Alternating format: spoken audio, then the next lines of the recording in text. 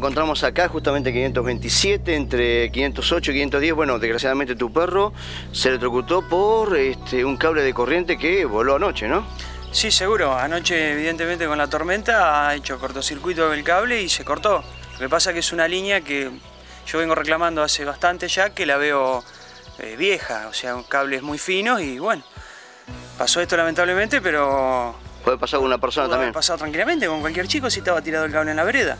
Claro, es como decías vos, San es un, tip, un perrito Mm. que joven, de dos años, que él este, prácticamente dio su vida por la gente, porque Por- si nadie se hubiera percatado del cable ese, hubiera muerto una persona. Exactamente, justamente pasando gente por la calle, él sale y bueno, eh, se, se encuentra con el cable ahí y lo, y Lo muerde. Lo electrocuta, claro. Ajá. Eh, y a raíz de eso pudieron darse cuenta de que estaba justamente el cable, si no, no justamente uno no se da cuenta. no te das cuenta porque vos ves que hay, hay, hay maleza, hay pasto, qué sé yo, y el cable entre el pasto no lo ves. Evidentemente cualquier chico, cualquier persona pudo haber quedado electrocutada.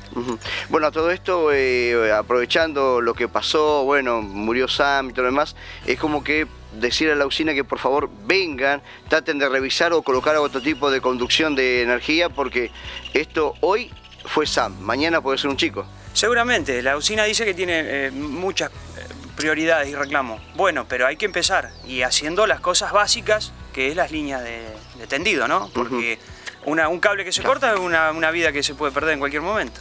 Y ya lo tenemos, murió Sí, Sam. sí. Exactamente, por eso digo que, que pongan toda la línea nueva, es lo que voy a reclamar eh, fehacientemente porque es lo, es lo básico. Después Claro. otros reclamos se, se harán más tarde, pero esto es básico.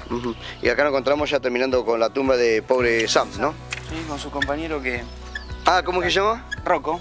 Ah, Rocco se ve que lo está olfateando y bueno, Despidiendo a su amigo, sí. despidiendo a su amigo, ¿no es cierto? Señor.